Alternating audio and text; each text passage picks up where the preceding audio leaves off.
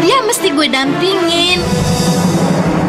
Ima tahu hal yang paling membahagiakan dalam hidupnya adalah mempunyai kamu. Astagfirullah.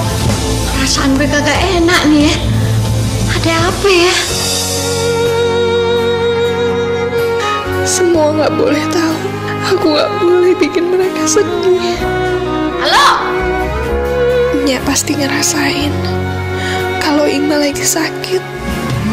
Astagfirullahaladzim Sebenarnya kamu sakit apa?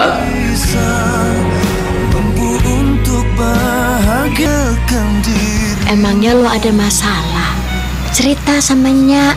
Jalan Tuhan engkau kekasihku